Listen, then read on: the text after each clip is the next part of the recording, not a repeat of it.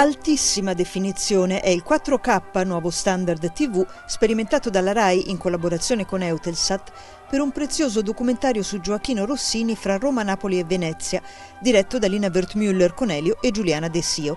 Immagini che raccontano le bellezze d'Italia sotto nuova luce, come dice Renato Farina, amministratore delegato di Eutelsat Italia. Ci danno una visione, un'immersività che è completamente diversa è la televisione del futuro questa e aver fatto, aver coprodotto insieme alla RAI, grazie anche alla regia di una grandissima Lina Wettmüller, per noi è stato fondamentale, abbiamo aperto le, le, nuove frontiere della televisione per il futuro. Sono le nuove sfide che dobbiamo affrontare, le affrontiamo insieme e, e la RAI è un grandissimo partner con il quale noi eh, ci onoriamo di collaborare da sempre. Molti televisori già in vendita supportano lo standard 4K e i costi dei grandi schermi sono in diminuzione. Luigi Rocchi, direttore strategie tecnologiche della RAI. Il 4K vuol dire 4.000 punti su ciascuna linea, su ciascuna riga dell'immagine. La tecnologia è già disponibile e dunque un mercato che si apre si potrebbe dire che la RAI con questo vuol dare anche un contributo all'utilizzazione di questi sistemi tecnologici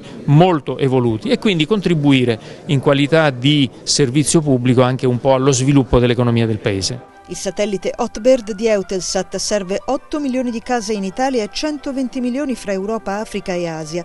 Il documentario potrebbe essere diffuso nei prossimi mesi in tutte queste zone con sottotitoli in inglese. Per portare la bellezza dell'Italia nel mondo, dice Marcus Fritz, direttore sviluppo commerciale di Eutelsat. Sarà usato come vetrina per l'Italia ma anche a livello mondiale. So we bring the beauty of Italy all around the world.